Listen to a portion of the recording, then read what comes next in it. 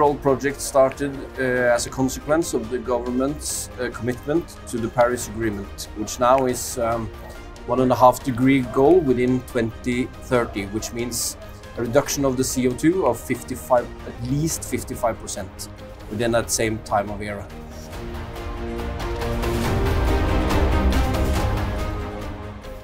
Yeah, so the, the scope of this machine is of course that we have taken away all the diesel driven parts and the diesel tanks of course and changed them with uh, electric units. Uh, the unique thing for these machines is that we use an electric motor to still run the hydraulic pump system so that everything for the operators of the machine will feel actually feel the same but without the engine noise of course.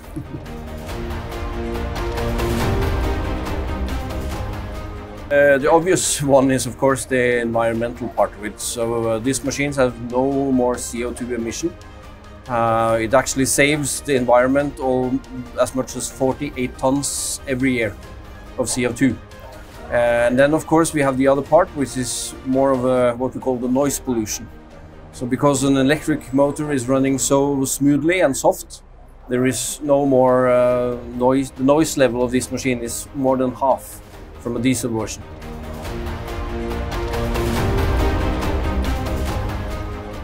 And the third thing is of course that now we are able to make this machine run, run much longer.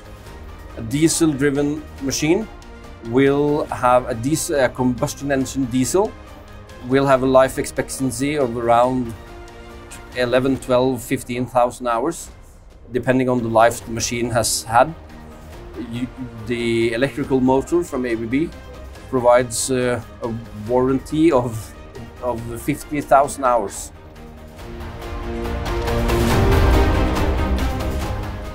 And of course, this has never been done before in the world.